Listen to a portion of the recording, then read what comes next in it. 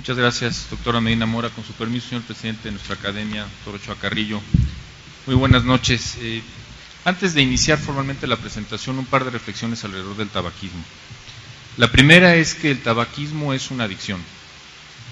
Y es una adicción que está demostrada. La nicotina es una sustancia que ha sido demostrada en diversos estudios que puede ser tan o más adictiva que la propia cocaína.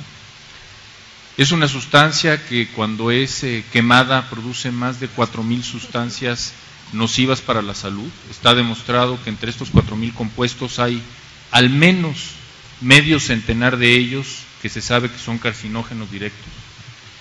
También eh, se sabe que el nivel de daño que ocasiona en todos los tejidos es de manera directa e indirecta. De manera directa se sabe que muchas de estas sustancias dañan los eh, diversos tejidos, el endotelio, los epitelios, pero también de manera indirecta por las eh, alteraciones fisiológicas que produce como la vasoconstricción, disminuye el flujo, sanguíneo, como la también producto de su combustión está el monóxido de carbono, hay una sustitución del oxígeno en la economía, en fin, podríamos dedicar todo el simposio para hablar de los daños que produce el tabaquismo.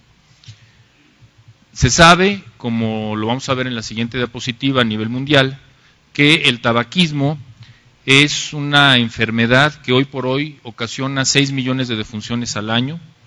Uno de cada seis adultos mueren por tabaquismo o por enfermedades asociadas y derivadas del tabaquismo.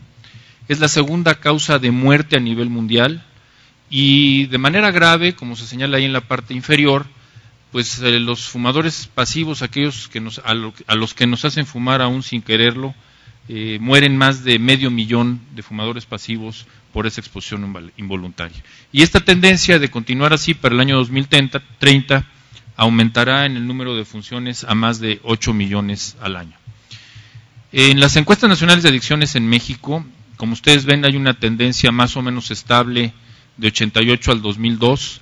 Alrededor de la cuarta parte de, todos los, eh, de toda la población son fumadores. Eh, no puse ahí 2008 porque hay una disminución ahí que no me quedó clara.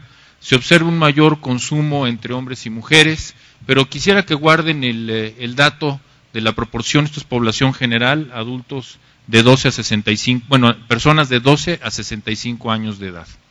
Como ustedes pueden ver, los porcentajes de riesgo atribuible y el número de muertes que por consumo de tabaco ocurren en nuestro país eh, son para el año 2006, esto desde luego se extrapola al 2010, incrementa el número en términos absolutos, pero si se fijan, el 90% de los cánceres de bronquios y tráquea están asociados de manera directa como causa al tabaquismo, 51% de las eh, muertes por enfermedad cerebrovascular, el 84% de la enfermedad pulmonar obstructiva crónica, el enfisema, la bronquitis crónica y el 45% de la enfermedad isquémica del corazón. Y ahí están los números, estamos hablando de varios miles de muertes al año tan solo por estas cuatro enfermedades, de las cuales la última es la segunda causa de muerte, o entre las primeras dos o tres depende cómo se haga la clasificación en nuestro país.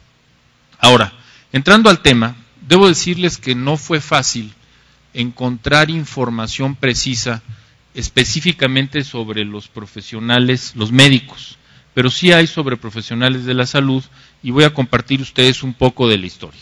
Y le empiezo con, yo llamando la atención de ustedes hacia el recuadro inferior, donde la Organización Panamericana de la, de la Salud, en una publicación que habla de la función de los profesionales de la salud en el control del tabaco, dice que se esperaría que los profesionales de la salud sean los modelos a imitar para el resto de la población, incluyendo sus comportamientos relacionados con la propia salud, particularmente el consumo de tabaco.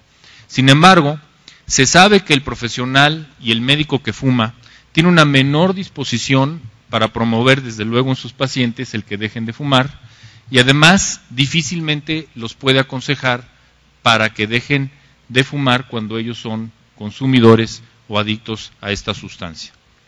Como ustedes pueden ver en la siguiente, eh, esta es una encuesta que realizó la Organización Mundial de la Salud eh, hace aproximadamente seis años.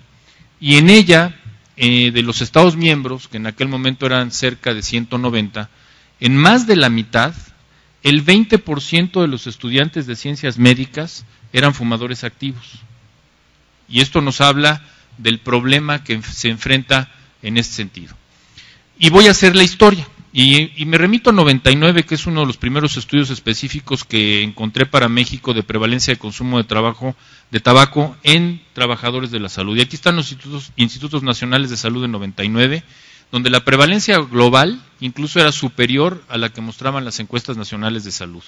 Y pueden ustedes ahí ver por profesión que de manera increíble, y digo increíble porque sabiendo que en el cáncer de pulmón está atribuido en el 90% al tabaco, es justo en el Instituto Nacional de Cancerología donde se tenía la más alta prevalencia, seguido el Instituto eh, Nacional de Psiquiatría, después Neurología, el Hospital Gea González, y así sucesivamente como pueden usted, ustedes observar en esta, en esta eh, lámina.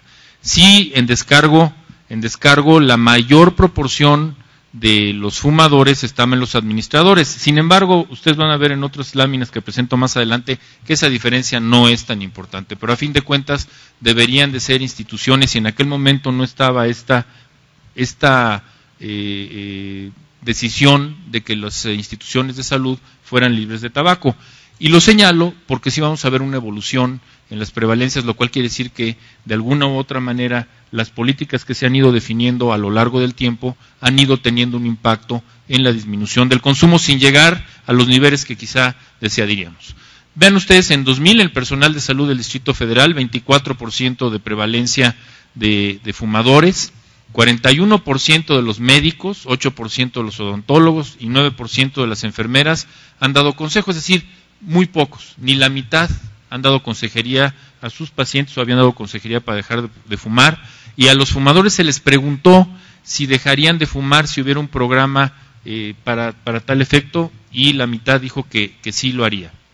En los profesionales de la salud, en el Hospital General de México, aquí está su actual director en 2001, en una encuesta que se hizo ahí, se encontró que el área médica tenía un 25% de prevalencia en el consumo, 29% en, los, eh, en la parte administrativa y en enfermería hasta el 18%. 18%.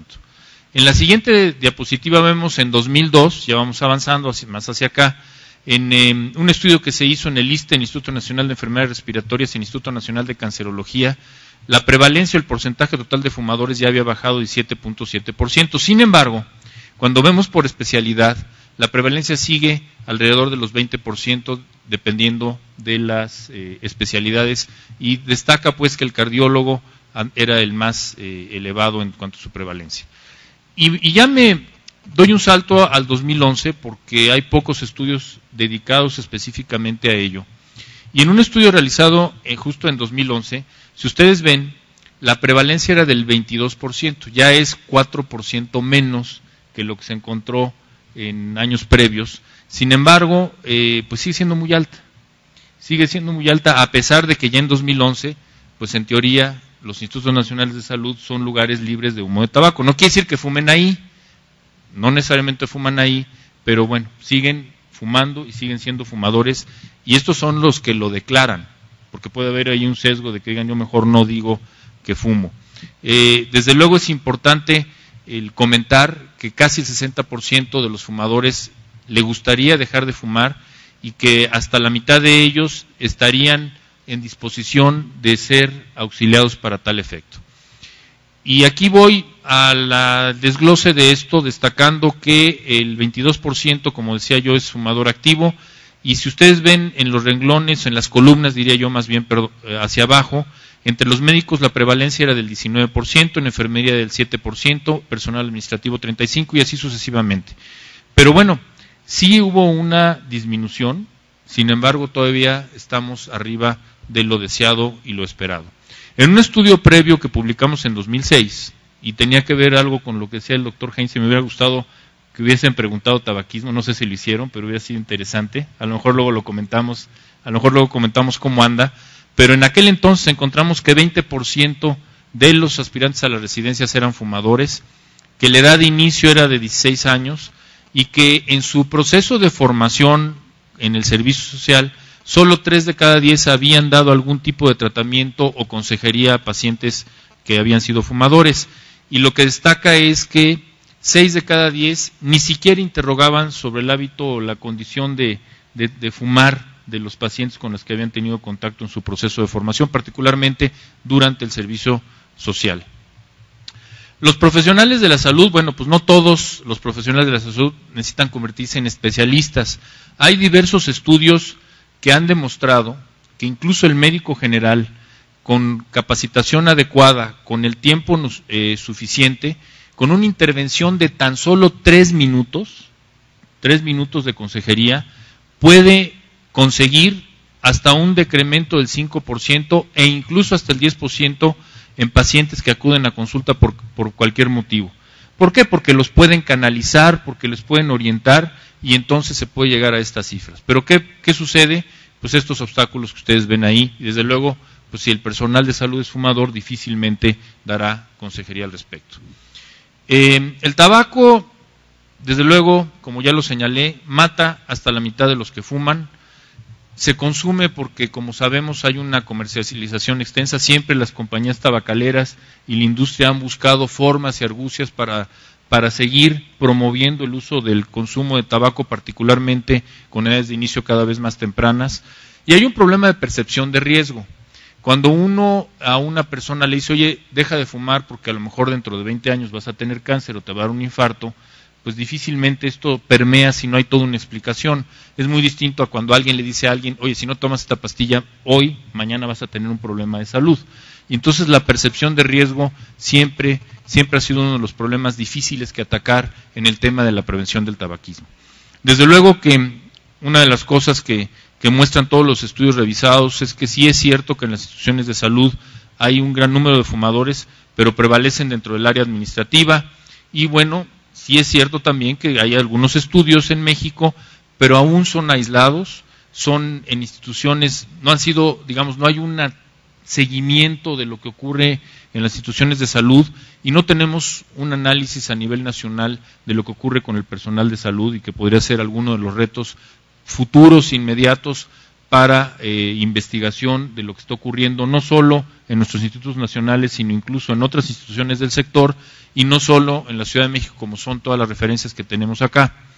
Y desde luego, eh, los profesionales de la salud, eh, como vimos también, inician, como prácticamente toda la población, a ser fumadores antes de que empiecen su desarrollo profesional. Por eso las actividades de prevención pues sí, qué bueno que trabajáramos, y lo vamos a ver aquí en la que sigue, no hay una, una digamos, una consejería específica para el profesional de la salud, pero pues desde luego tendríamos que trabajar, como se ha mencionado reiteradamente, en toda la población para evitar que hubiera un consumo, un consumo de tabaco. Eh, de las conclusiones de los estudios, pues un elevado porcentaje de los eh, personal que trabaja en salud desea dejar de fumar y estaría en disposición de hacerlo si se le orientara a dónde acudir. Y ya finalmente, eh, indudablemente es necesario que se promueva la cesación del tabaquismo entre los profesionales de, la salud. Habría que quizá diseñar algunos eh, programas dirigidos específicamente a esta población por las características que, que, se tienen muy particulares del tipo de trabajo que se desempeña.